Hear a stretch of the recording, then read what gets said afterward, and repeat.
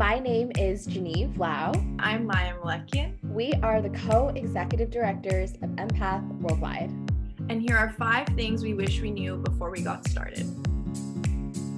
First, don't be afraid to fail. We'll hear this one a lot, but seriously, not enough. Failure is key to success, and without it, we'll never unlock our true potential. Prepare for your plans to not always go as planned, but no matter what, always sticking true to your values. Have fun and be you. There's really no need to take everything so seriously.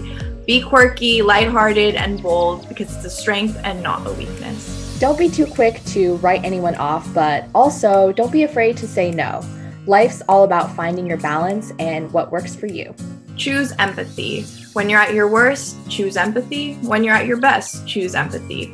Great relationships and stories are made when we choose to listen and to understand.